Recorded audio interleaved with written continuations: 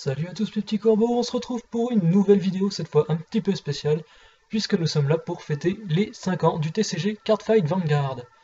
Donc le jeu a eu 5 ans le 26 février, donc c'était vendredi dernier, et euh, tout simplement euh, il fallait fêter ça. Euh, parce que Vanguard a beaucoup apporté dans ma vie, et m'a permis, permis de faire des rencontres fantastiques. Euh, on verra ça un peu tout à l'heure, justement. Euh, cette vidéo est là pour retracer un peu le, parcours que j'ai pu avoir euh, grâce à Vanguard.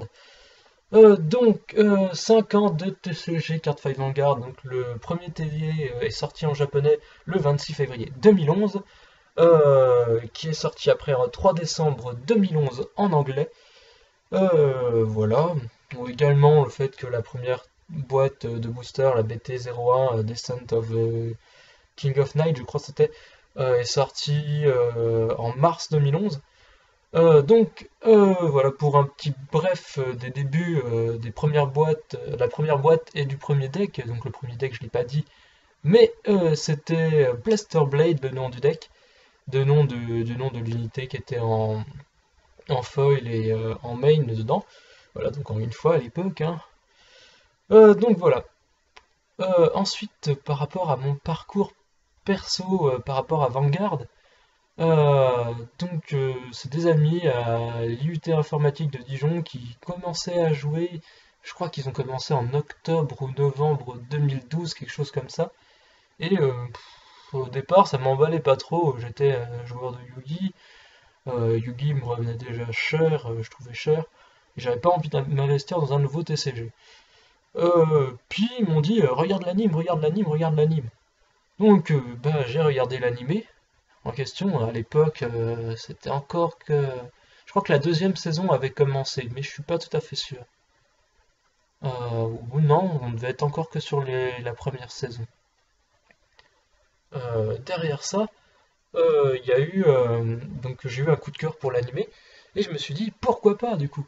Pourquoi pas? Et puis je me suis renseigné, j'ai été sur internet, machin et tout, j'ai regardé les cartes et euh, les artworks étaient plutôt sympathiques.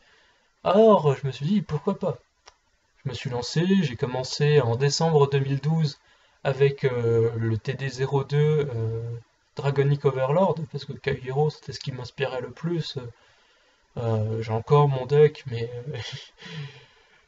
c'est un Dragonic Lowkeeper qui aujourd'hui ne peut faire plus rien du tout, mais c'est pas grave. Donc voilà, mes petits débuts ça commence à remonter.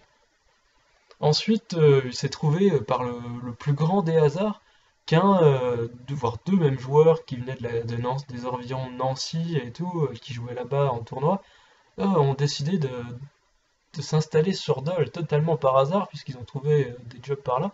Et du coup, un de ces quatre, ils nous ont proposé de monter sur Nancy pour faire un tournoi. Alors, avec Shirotama et Vali, on s'est dit pourquoi pas, ça peut être cool. Et euh, du coup, bah voilà, en octobre 2013, euh, on se retrouve embringué dans la, la preview, la sneak preview euh, de la BT11 à Nancy, et c'est plutôt cool. Après, on va dire qu'on est retourné quelques coups à, Nancy entre-temps, et on a essayé de... Enfin, j'ai essayé d'aller démarcher les boutiques à Dijon en début 2014, pour les, les, mettre un peu, les faire se mettre au jeu.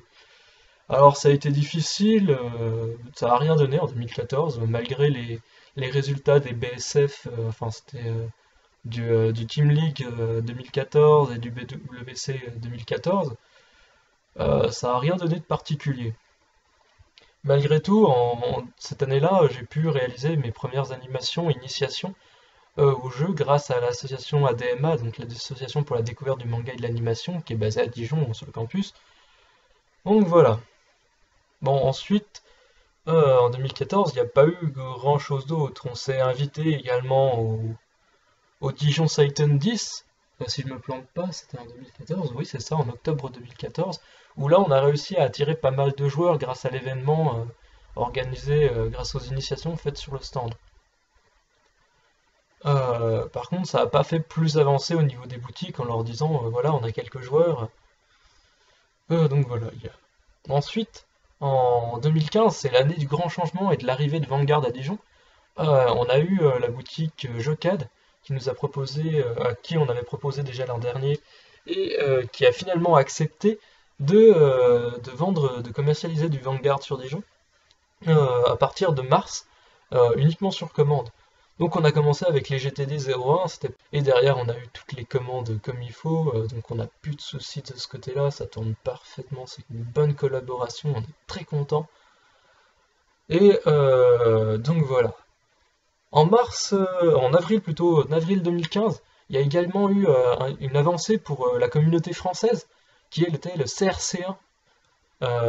et ça c'était génial, on remercie encore les, les donc June, June, Nitra et Anyone, euh, chapeau les mecs.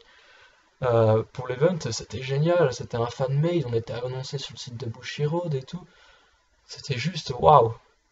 On avait réussi à atteindre, bon, c'est pas aussi grand que le Arc Circuit aux États-Unis, mais euh, on, avait une reconnaissance de la part de l'éditeur et du distributeur, ce qui est déjà fantastique.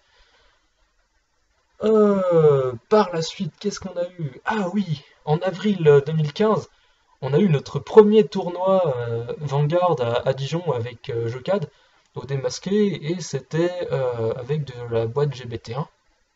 C'était génial. Bon, on était 6, je crois, si je me souviens bien. sauf exception où en mois de mai, on avait eu les Nancéens qui étaient venus nous, rendre visite, on était beaucoup plus, on était à la vingtaine de joueurs. Euh, mis à part ça, euh, on tourne généralement à 4-6 joueurs actuellement à jeu 4. C'est déjà pas mal, on va dire. Euh, suite à ça, j'ai eu mon premier BSF, donc Bushiroad Springfest, en juillet 2014. Donc ça m'a permis de rencontrer d'autres gens, de, d'en retrouver d'autres sur Paris à cette occasion. C'était plutôt cool, c'était mon premier tournoi par équipe comme ça. Enfin, il y avait le CRC1 aussi, où il y avait du tournoi par équipe. Mais euh, cette fois-ci, le premier tournoi par équipe organisé par l'éditeur, malheureusement avec rien à la clé. Mais, euh, enfin, pas de qualification à la clé, c'est plutôt ça qu'il fallait entendre par rien. Euh, mais voilà. Donc ensuite, en septembre 2015, on a eu le CRC2. Donc c'est cette fois soutenu par l'association Generation Cards, qui fait du bon boulot également un peu partout France et actuellement qui fait le, French Circuit, donc un tournoi dans... D'ailleurs on arrive à la fin, là au 5 mars il y a la finale. Euh, les dernières épreuves devaient se passer ce week-end si je dis pas de bêtises. Euh, donc oui, oui, oui, je dis pas de bêtises, c'était ce week-end. Euh, donc voilà, c'est dans 11 villes, dont une en Suisse. Donc il y avait Paris, Strasbourg, Nancy, Montpellier, Marseille, Lille et Rennes, je crois, si je dis pas de conneries. Il y en a d'autres, j'en oublie forcément, parce que je pense pas à tout. Euh, mais voilà, ça fait, euh, c'est quand même un gros event à organiser dans 11 villes différentes. Et c'était le deuxième, organisé par l'association. Donc ils font plutôt du bon boulot de ce côté-là. Et du coup, on, va avoir là, sur Dijon, prochainement, on devrait avoir notre première preview avec Jeucad euh, donc sur la GPT-6 euh, qui aura lieu au mois de mars, c'est le 19 mars. Ouais, je m'avance un petit peu aussi euh, par rapport aux événements. Et du coup, voilà, c'était un, petit peu... Vous allez avoir des photos qui vont venir s'insérer juste après. Donc, au niveau des... avec les, une petite légende pour vous dire quand même à quel événement ça correspond auquel j'étais présent. Et donc, je souhaite encore une nouvelle fois un joyeux cinquième anniversaire avant-garde et euh, j'espère que ça pourra encore continuer longtemps. Donc voilà, c'était au Kalasu. A ciao, à plus